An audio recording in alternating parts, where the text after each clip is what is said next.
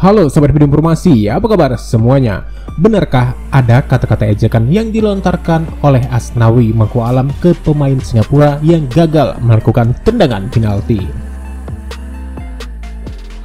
Ya, Asnawi Mangku Alam sempat mengeluarkan kata-kata ejekan ke pemain Singapura yang gagal menjalankan tugas dalam tendangan penalti di semifinal Piala AFF 2020 timnas Indonesia sukses meraih hasil bagus saat menjalani leg-leg kedua babak semifinal Piala AFF 2020 melawan Singapura di Stadion Nasional.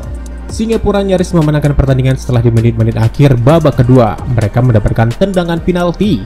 Sayang kesempatan itu harus terbuang percuma karena tendangan Faris Ramli mampu dibentahkan oleh kiper timnas Indonesia Nadio Argawinata. Nah, skor 2-2 pun bertahan hingga laga babak kedua usai. Pertandingan terpaksa harus dituntaskan lewat perpanjangan waktu.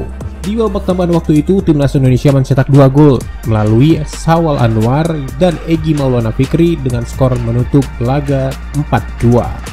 Ada sebuah kejadian menarik sempat tertangkap kamera ketika kapten timnas Indonesia yaitu Asnawi Mangku Alam melakukan gestur tubuh yang dianggap mengejek ke pemain Singapura yang gagal melakukan tendangan penalti yaitu Faris Ramli.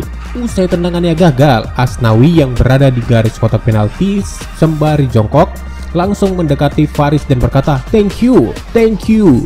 Di depan sang pemain. Aksi itu lantas mendapat protes dari para pemain Singapura. Beruntung provokasi itu tidak sampai diberi perhatian khusus oleh wasit. Dengan hasil ini, timnas Indonesia berhasil melaju ke partai final Piala AFF 2020 dan akan menunggu pemenang pertandingan antara Vietnam versus Thailand. Nah, kejadian yang unik ini mendapat tanggapan berbeda dari para netizen.